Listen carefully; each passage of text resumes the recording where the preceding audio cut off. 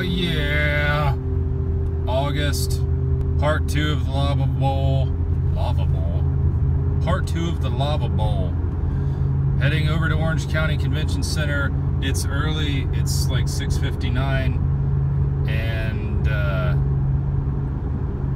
I'm excited. I don't sound excited, but I'm excited because I'm tired, but I'm going to get more awake and then I'm going to be more excited. But we have a lot of got a lot of mods on the car, new stuff on the car since uh, the first event at the Lava Bowl in July. We got the shocks, Koni adjustables, we got the H&R springs, we got the new alignment, got some more negative camber in the rear. Wasn't able to get as much as I wanted in the front.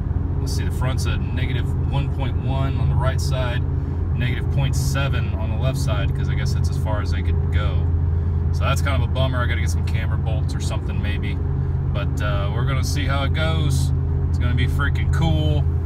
Hopefully, and hopefully I'll crush everybody. Rah! And here we are again, back at the North Concourse. This time I'm not following Georgian, I'm following a Mazda. Mazda 6 driven by a lady with very short hair. And same location, same parking lot, totally different track layout. This track layout is going to be more open, it's going to be bigger, it's going to be faster. Uh, the last track layout was tight and difficult and confining and claustrophobic. But this one's going to be good and oh, there's a person signing the waivers. That's where I'm going.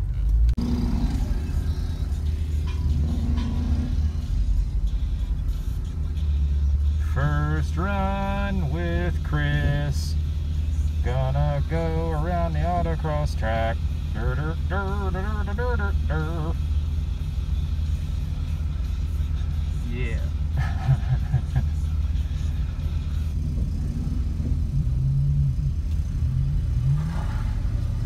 oh boy.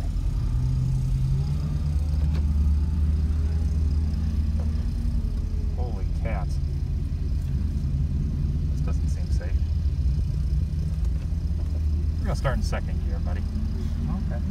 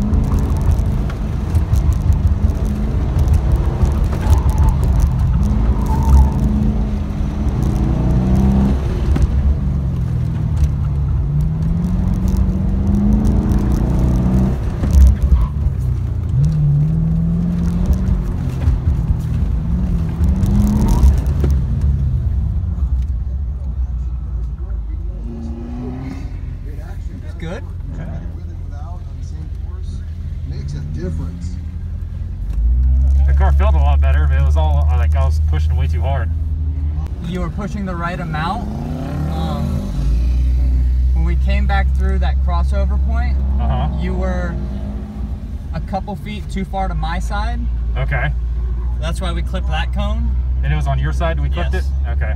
Um, I think if you were on the same angle, just a couple feet over, it would have been fine. Okay. Um, and then it was good when we got up to the big slalom. I think you tried to go in a little too fast, and that caused you to get behind.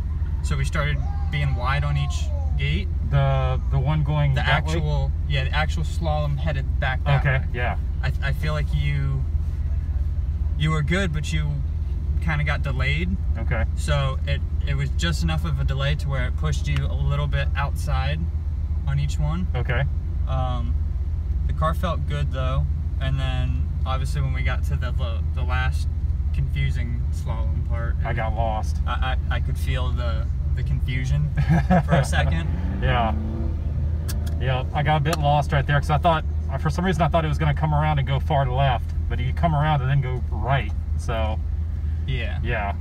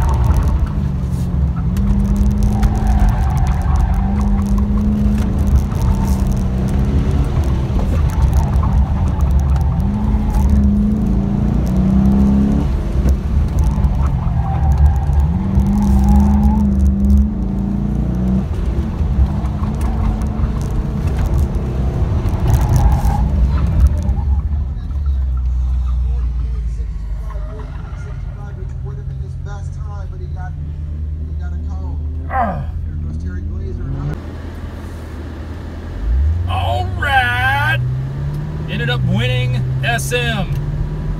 And it was up against the first gen RX-7 that cleaned my clock last time. He got me by, I think it was like 1.4 seconds, something like that. I ended up getting him this time by a tenth. Now, to his credit, he uh, he struggled with the course. He had a little bit of a hard time kind of getting the course figured out, but that's fine. Clean run for clean run. I got him by a tenth of a second, so hell yeah. The shocks and the springs, big difference in how the car performs. Uh, way more planted, not nearly as, as wishy-washy, not nearly as much body roll, so that's great. I've got to kind of figure some stuff out when it comes to tuning. Uh, yeah, and I apologize for the AC being so loud. It's very hot.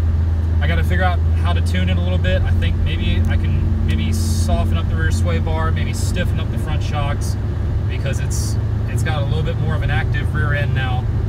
But that's it's not bad though. Overall, it's great. If anything, I would prefer to have a little bit more camber in the front. Negative camber. That's what I'm going to try to go for with some camber bolts. But other than that, though, ex extremely happy. I don't I don't know what else to say. Very pleased. So now on to Lake Tech next month, and uh, I like that venue. It'll be fun. And holy crap, I-4 traffic sucks.